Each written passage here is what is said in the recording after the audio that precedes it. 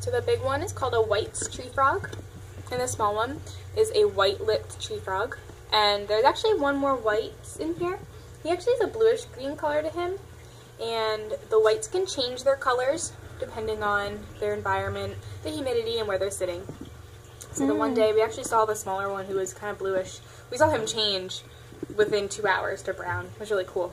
The big one's been brown for a while now. Hmm. Oh, he's in the back corner. I see him now. I have to hide back